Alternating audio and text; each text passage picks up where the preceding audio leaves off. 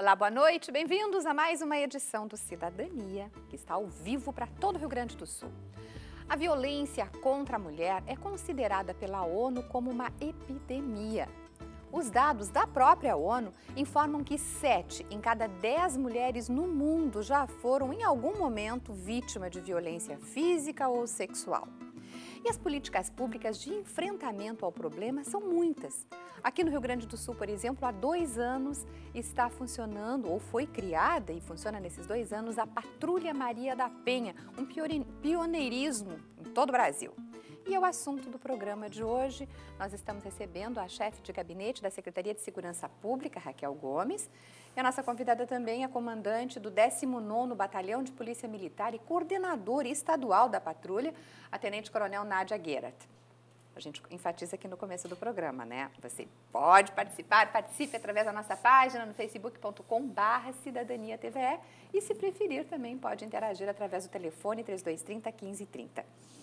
Boa noite, bem-vindas. Boa noite. Parabéns, né? Feliz aniversário à Patrulha Maria da Penha, que afinal de contas, eh, pelo que eu vi, os números são animadores, assim, de redução, não é o que se, tem, que se quer ainda, mas que já está reduzindo um pouco a violência contra a mulher. Com certeza. Um pouquinho que está se criando, mas já trazendo. Com certeza os dados realmente são animadores. Né? É um trabalho que nós iniciamos em 2011, quando o governador Tarso Genro assumiu o governo do Estado e priorizou a política para as mulheres uh, no Rio Grande do Sul, criando a Secretaria Estadual de Política para as Mulheres, que fez um trabalho transversal com as demais secretarias uh, uh, do Estado.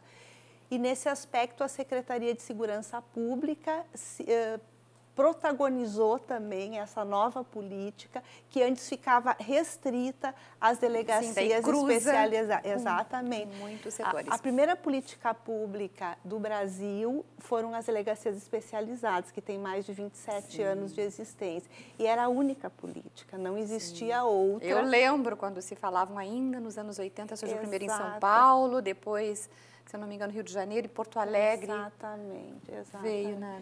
E nós, e nós realmente aqui no Rio é Grande do custo, Sul, né? exatamente. E nós aqui, aqui no Rio Grande do Sul nós inovamos, porque nós trouxemos essa pauta, né, como prioridade para a segurança pública, né, com a consciência de que não se concebe mais violência contra a mulher no Estado democrático de direito, né, e onde se quer preservar e garantir a cidadania e trouxemos as outras instituições a discutir esse tema conosco. Daí foi a Polícia Militar, o Instituto Geral de Perícias e a Superintendência de Serviços Penitenciários. Mas, Tenente Nádia, boa noite, seja bem-vinda também. Boa noite, é um prazer estar aqui. As patrulhas Maria da Penha, como, como têm sido recebidas assim nas comunidades? Com certeza, com muita alegria e muita tranquilidade para as mulheres que são vítimas de violência doméstica.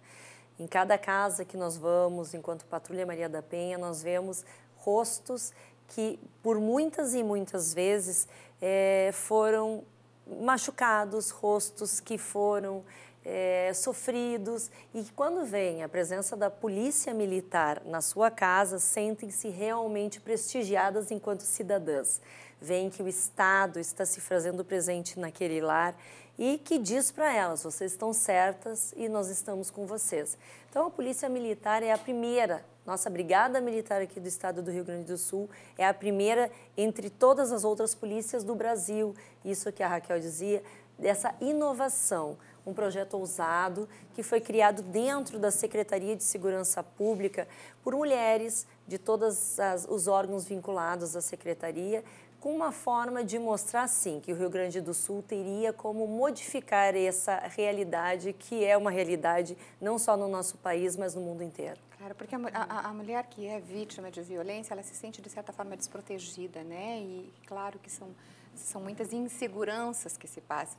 E, e tendo, essa, e tendo essa confiança da, da, segurança em si, isso vale muito. É, é importante colocar também que, que o Estado do Rio Grande do Sul não tinha sequer indicadores.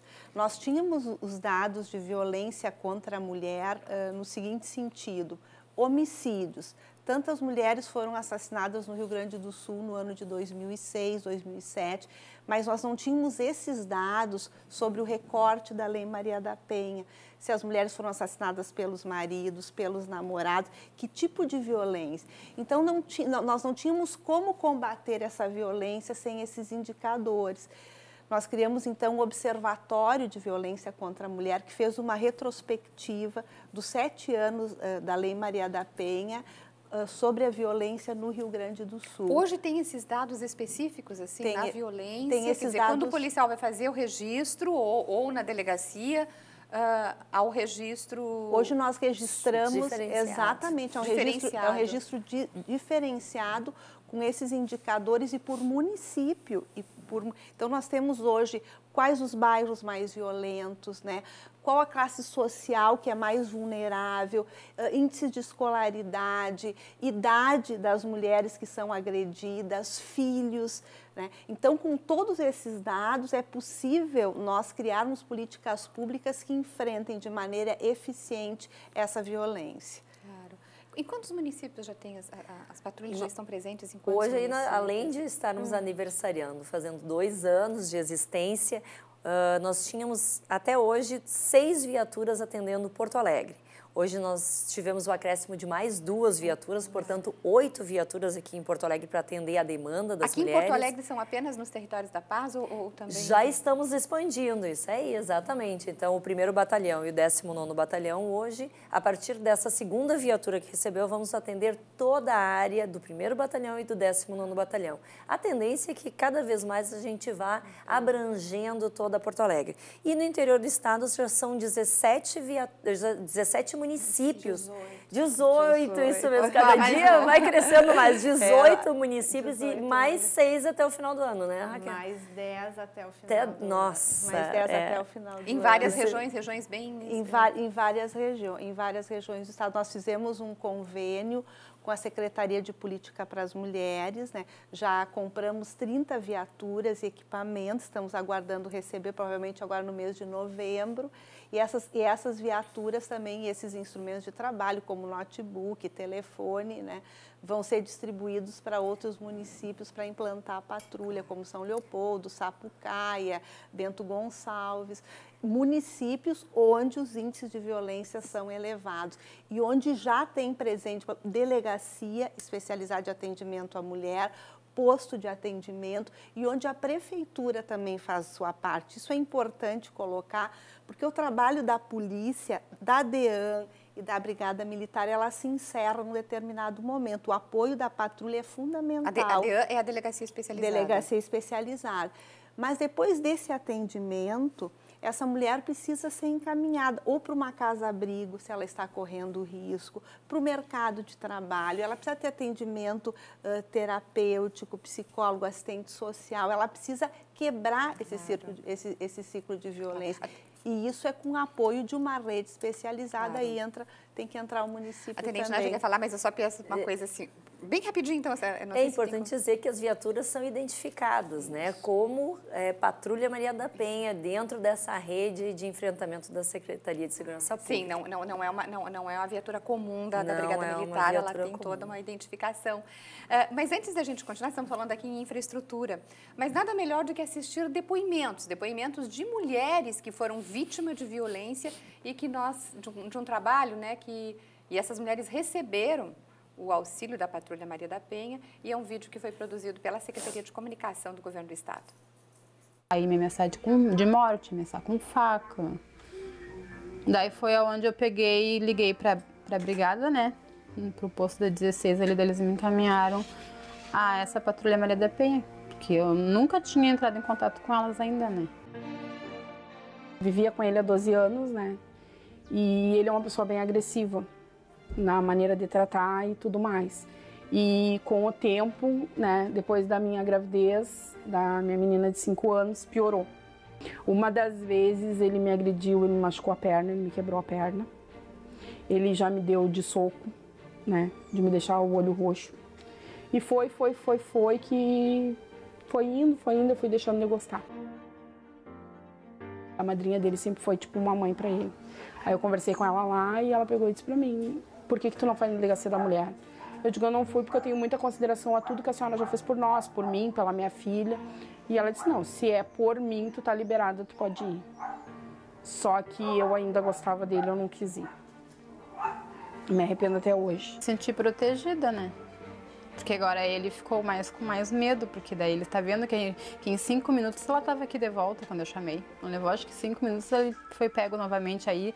Daí dessa vez eu já me senti mais segura, foi por causa disso. Foi mais rápido quando eu chamei eles. A melhor coisa que eu fiz, e para quem está passando por isso, que não me esconda, que sabe, que fale, que procure seus direitos. Porque funciona. Realmente funciona. Tá aí, né? É emocionante. Sim, é claro, é emocionante os, os depoimentos destas, destas mulheres. E essa, essa, essa iniciativa, eu até falei, foi pioneira aqui no Rio Grande do Sul. Outros estados já estão seguindo esse modelo? Sim, inicialmente foi Pernambuco. Nós, nós criamos aqui no Rio Grande do Sul. Pernambuco copiou o modelo. Curitiba, a Polícia Militar do Paraná não aceitou fazer esse trabalho e a Prefeitura de Curitiba fez diretamente com a Guarda, Guarda Municipal. municipal são Paulo, prefeito Haddad, fez também diretamente com a Guarda Municipal. A Secretaria de Segurança Pública tem recebido visitas de oficiais e, e de servidores da segurança pública de outros estados para verificar e conhecer o projeto, como Amazonas, Mato Grosso, Rio de Janeiro, Santa Catarina. E quais são as, as especificidades, assim, o que que, o, o que, que por, por que que tem esse que, que, que tem que esse, esse, diferencial, êxito, né? É. Esse diferencial. O que, que nós, nós entendemos que era, que era a fragilidade da Lei Maria da Penha? A vítima ia até a delegacia de polícia, fazia a ocorrência, a delegada requeria medida protetiva para o judiciário e muitas vezes não tinha nem retorno se essa medida protetiva era deferida ou não. A vítima tinha um mero documento na mão. Se o agressor voltava a agredir aquela vítima, né, e chamava, por exemplo, a polícia militar pelo, pelo 190, o policial militar não, não sabia, não tinha sequer conhecimento dessa medida protetiva e não tinha como fazer a proteção dessa mulher. E hoje como é que funciona? Eu vou apressar um pouquinho. Nós, nós Deixa a, a, a, a, a, tenente, tá a tenente Nádia tá contar assim, como é que quando chega a por exemplo, Todos a, medida, a, a, medida protetiva não está sendo cumprida, como é que a pessoa pode... Todos os dias de manhã, os patrulheiros vão na delegacia, isso que está a rede, Exatamente. isso é que nós mostramos a rede, esse é o diferencial, a Brigada Militar e a Polícia Civil trabalhando juntas pela primeira uhum. vez. Todos os dias de manhã, os patrulheiros vão na delegacia, retiram todas as, as ocorrências que foram feitas no dia anterior com as medidas protetivas e já começam a visitar essas mulheres. Então é feito um roteiro em que os patrulheiros vão à casa dessas mulheres e verificam em loco como elas estão se sentindo, se estão bem, se estão sendo ameaçadas, se o agressor está importunando, se elas já retornaram também para o agressor, né? muitas vezes acontece. Enfim, a partir dessa visão do policial, que é importante dizer que ele é capacitado, não é qualquer policial militar da rua, nós pegamos os policiais militares, passamos por um curso aonde homens ele, e mulheres, homens e mulheres, que efetivamente eles vão entender, se sensibilizar com a violência doméstica e poder estar capacitados de falar com mulheres que já foram agredidas. Então nós estamos trabalhando sempre no pós-delito, é uma coisa muito mais delicada para que essa mulher não se revitimize a partir dessa visita. E nós temos feito aí a contrapartida. A partir do que nós vemos naquelas casas, é encaminhado para a delegacia especializada, é encaminhado para o centro de referência, é encaminhado para o judiciário, enfim, para aquele local em que a mulher está sendo está mais necessitada. Esse encaminhamento da Polícia Militar, essa fiscalização das medidas protetivas de urgência, essa, esse carinho diferenciado da polícia faz com que não só as mulheres se sintam protegidas, mas toda a comunidade que, de certa forma, venha a polícia agindo naquele bairro. E os agressores se intimidam, inclusive das outras casas, porque nós sabemos que esses dados é de um terço das mulheres, infelizmente. Tem muito uma cifra oculta aí, oculta aí de mulheres que ainda não conseguiram se empoderar e poder efetivamente denunciar o seu agressor. A Patrulha Maria da Penha faz também esse serviço de empoderar as mulheres, de intimidar outros agressores, fazendo com que toda a comunidade se sinta também protegida. Sim, porque a Patrulha Maria da Penha ela vai depois da denúncia, depois, depois da de denúncia. feita a denúncia. Aí, Antes exato. não tem como saber. Não. Exatamente. É importante também eh, salientar que esse trabalho em rede reduziu de forma significativa os índices de violência, principalmente os femicídios. Nesses dois anos, nós reduzimos os femicídios em 32%. Isso, isso é salvar vidas, né? Isso, isso é um trabalho realmente que nos gratifica muito. E nas ocorrências, né, Raquel? Nós estávamos fazendo levantamento, as ocorrências de eh, violência doméstica também têm sido reduzidas, porque já tem esse trabalho preventivo. Já continuamos conversar, agora é hora da gente fazer o nosso intervalo, é bem rápido e já voltamos. Os dois anos da Patrulha Maria da Penha, aqui no Rio Grande do Sul, assunto no programa de hoje, a Patrulha Maria da Penha, eh, que está servindo de exemplo para outros estados do Brasil, como a gente ficou sabendo agora no primeiro bloco. Hoje quem está conosco é a chefe de gabinete da Secretaria de Segurança Pública, Raquel Gomes, e também a Tenente Coronel Nádia Gueira, que é responsável, que é a comandante do 19º Batalhão de Polícia Militar e também a coordenadora estadual eh, da, da, da, daqui da, da, da Patrulha Maria da Penha.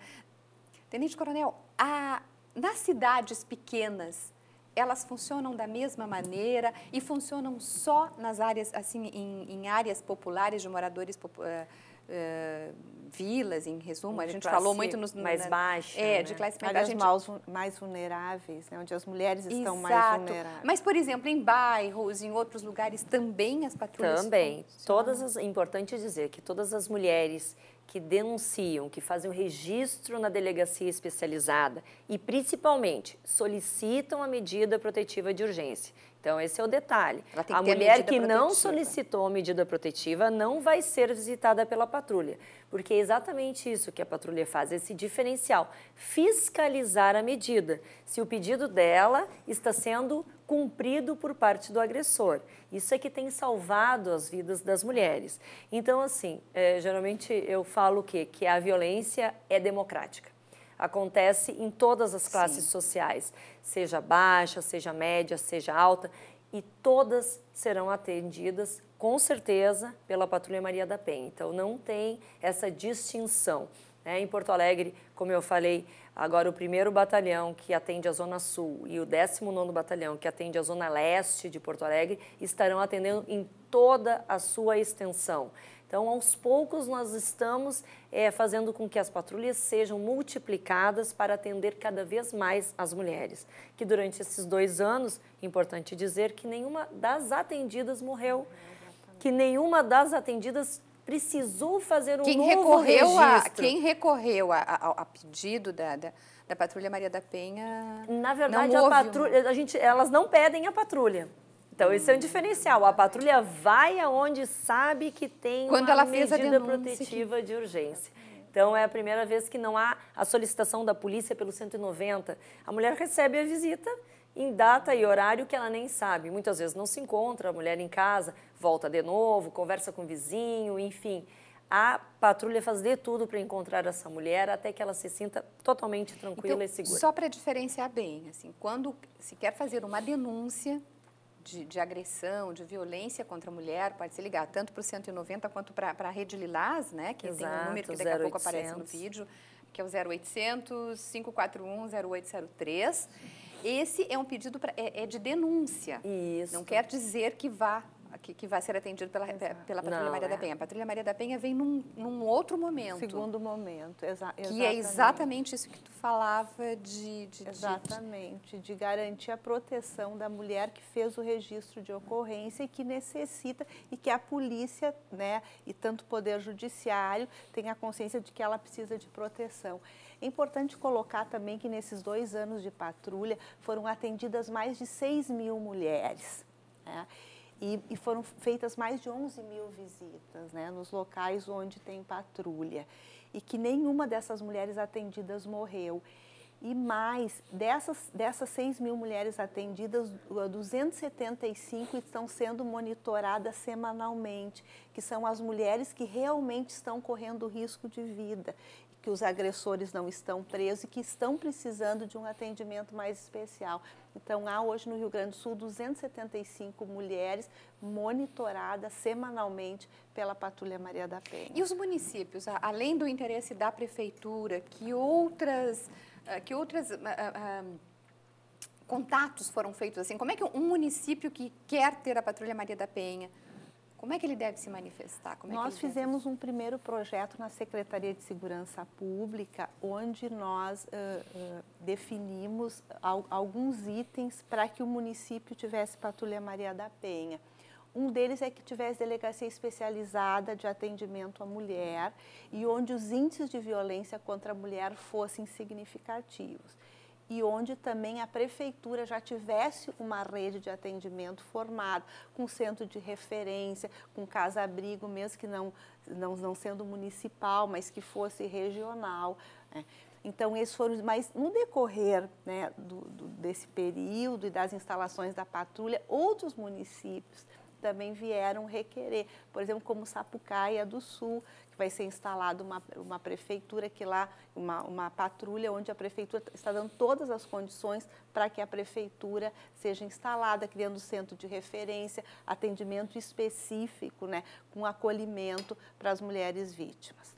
Tá certo. E ganhou prêmios também. Né? A Patrulha Maria da Penha, nós, nós, inscrevemos a Patrulha Maria da Penha o ano passado no, no, no BID, num prêmio que é concedido pelo Banco Interamericano e nós tiramos o primeiro lugar em, entre 70 projetos escolhidos que foram classificados de toda a América Latina então viram recursos que se poderão investir mais, é isso? Exato. Não, olha, foi, foi fantástico. O secretário de Segurança Pública foi até, até Washington, o prêmio o prêmio foi, foi concedido em Washington e o próprio BID hoje tem no site do BID, né, uh, o funcionamento da Patrulha Maria da Penha. Foi feitos foram feitas publicações, inclusive, e está servindo de modelo não só para o Brasil, mas para vários países da América Latina. É fantástico mesmo. Mais um ponto né, na, na, nessa luta contra a violência. Tenente, uma palavra final, não sei se... Olha, eu diria assim, que a Brigada Militar aqui está à disposição sempre.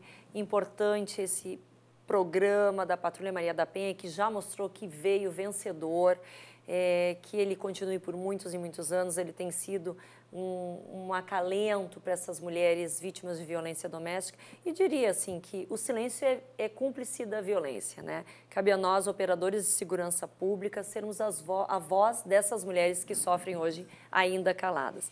Conte com a Patrulha Maria da Penha. Muito obrigada pela vinda de vocês aí. Parabéns pelo Obrigada. trabalho, que continue sendo bem efetivo aí. E o Cidadania fica por aqui. Nós agradecemos a sua companhia, lhe desejamos uma boa noite. Amanhã tem mais. Até lá!